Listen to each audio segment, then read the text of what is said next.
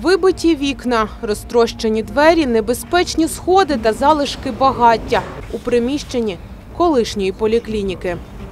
Будівля відомого архітектора Олександра Красносельського сьогодні під загрозою повної руйнації. Донедавна перша поліклініка другої міської клінічної лікарні працювала наповну.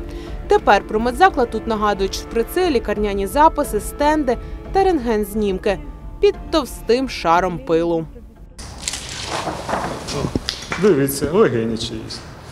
Яка краса. Уже зачинено без людей, але з цілими вікнами заскочив будівлю Олександр Волок. У 2017 році воно вже було закрите, тобто вже було аварійне. У серпні 2018 року, коли я тут був поряд, вікна були всі цілі, двері були цілі, все було замкнене.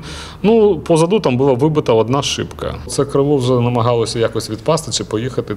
І десь 80-ті роки тут зробили ферму, щоб, щоб сходи не поїхали вниз. Будівництво палацу для робітників почалося у 20-х роках минулого століття. На середину 20-х років заводи імені товариша Петровського, імені товариша Леніна і всі, які до них належали, були об'єднані у підприємство Південсталь. Тобто він споруджувався Південсталлю е, для робітників Південсталі. Зійшлися обіцянки радянської влади е, по налагодженню системи охорони здоров'я. А по-друге, е, це тези початку 20-х років, ну взагалі 20-х років, про необхідність будувати палаци для робітників. Поліклініка стала однією з перших будівель після революційного міста. На титульній сторінці видання Мартен за жовтень 1925 року Валентин Старостін показує будівлю, коли її тільки зводили. Є версія, що проект було перше розроблено у 1922 році. Більш вирогідно, що це 23-24 роки. І він е, добудовувався до 1927 року. Будівля пережила Другу світову та пожежу з мінімальними втратами. Окрім е, запустіння, яке тут спостерігається, от головний фасад виглядає практично так само, як е, після спорудження. Єдине, що портал ще було прикрашено чотирма скульптурами робітників. У 1996-му розпорядженням Дніпропетровської ОДА палац профілактики стає пам'яткою архітектури місцевого значення. Це ж саме видно і на історико-архітектурному опорному плані міста. Тут знаходиться розташована палац профілактики.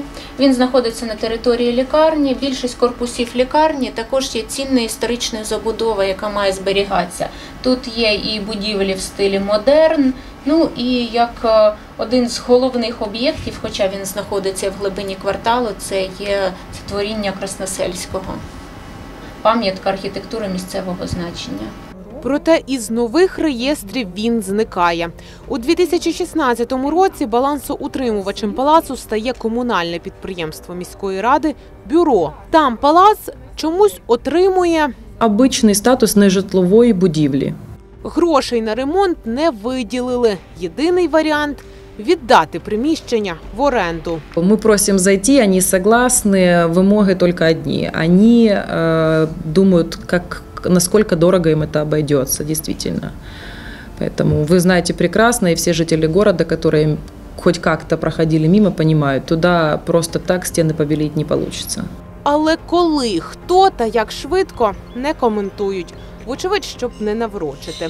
А тим часом у будівлі вцілілих дверей, вікон та стін стає все менше. Час спливає, історія іде у небуття. Оля Василець, Олександр Вернигоров. Новини 9 каналу.